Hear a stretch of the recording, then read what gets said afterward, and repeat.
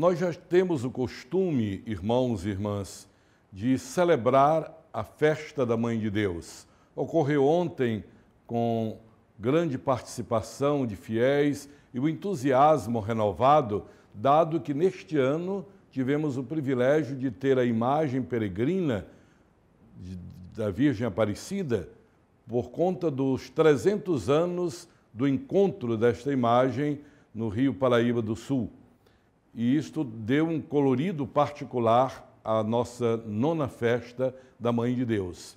E chegamos a hoje, ao dia 13, ainda com os ecos desta festa bonita, da despedida da imagem de Nossa Senhora Aparecida, que, embora seja sempre um símbolo, porque a imagem é uma lembrança, é um símbolo, mas evoca para nós uma realidade profunda a presença daquela que o Senhor fez dela sua primeira morada e também a presença daquela que ele disse: Eis aí tua mãe.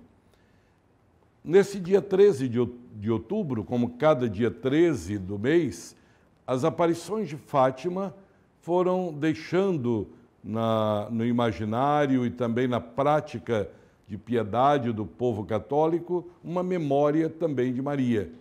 De modo que hoje, em sequência ao dia 12, Dia Nacional de Nossa Senhora Aparecida, nós recordamos a última aparição de Nossa Senhora em Fátima.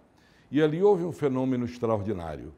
As três crianças, os pastorinhos, estavam pressionados de todo lugar e de todas as formas por um sinal que desse credibilidade àquilo que eles estavam dizendo porque as pessoas olhavam as crianças extasiadas diante da zinheira, mas não viam nada.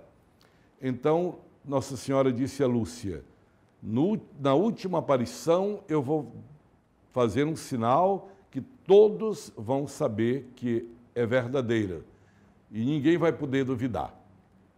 E de fato, isto ocorreu.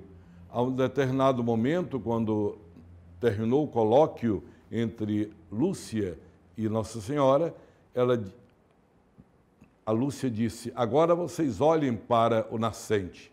E o sol, então, que era pleno meio-dia, começou a dar voltas, girar, e as pessoas tinham a impressão que o sol como que ia atingi-las na terra. Foi um clamor, porque era uma multidão muito grande na cova da Iria. E esse sinal não foi uma ilusão de ótica. Este sinal foi visto em Lisboa, a diferença de muitos quilômetros entre Fátima e Lisboa. Foi registrado nos jornais da época, não era uma ilusão das crianças e nem de pessoas piedosas. Com isto, Deus confirmou que, de fato, a mensagem de Nossa Senhora aos pastorinhos em Fátima era, de fato, uma mensagem divina. Ela havia mostrado às crianças o fogo eterno para onde vão aqueles que não aceitam o amor de Deus, tinha falado sobre a guerra e tinha falado também a respeito do terceiro segredo, só foi revelado no ano 2000 a grande perseguição à igreja e os sofrimentos do Santo Padre. É assim que nós nos despedimos da imagem de Nossa Senhora Aparecida, mas ficamos sempre com Maria no coração, porque ela quer estar perto de nós. Afinal, nós fomos confiados a ela como filhos. Música